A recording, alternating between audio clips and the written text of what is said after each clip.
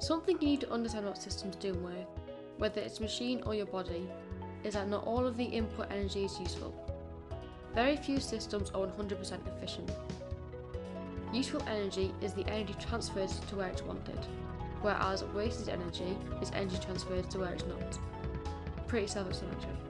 The wasted energy is dissipated to the surroundings. Dissipated is a key word and means spread out. So the wasted energy is spread out and stored in less useful ways. For example, in a hoover, the useful energy is used to suck up dirt in the carpets, but the energy which is not useful is dissipated into the surroundings as sound waves creating the horrible loud sound. Looking at machines, the friction between parts causes energy to be wasted and dissipated into the surroundings as thermal energy. We can actually calculate the efficiency of a system provided we know the input and output energies. The input energy is the total energy supplied to the device. The useful energy transferred by the system is called the useful output energy. Due to the principle of conservation of energy, the total input energy will always equal the useful output energy plus the energy wasted by the system.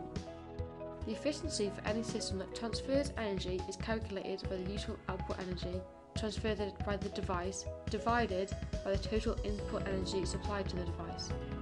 Both are measured in joules, don't forget. A side note is that systems can be more than 100% efficient and very few are 100% efficient. The rest of the video is now for high tier students only. To increase the maximum speed of racing cars and planes, manufacturers will produce them with streamlined bodies. Producing vehicles with streamlined bodies reduces the air resistance acting upon them. Air resistance causes a force to oppose the vehicle's movement.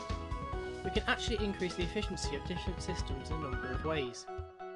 In machines, friction between moving parts is an issue as it causes energy to become wasted as heat. If the friction is reduced there will be less heating, so more of the energy input is used as useful energy. In large machinery, the amount of sound created can be reduced by tightening loose parts.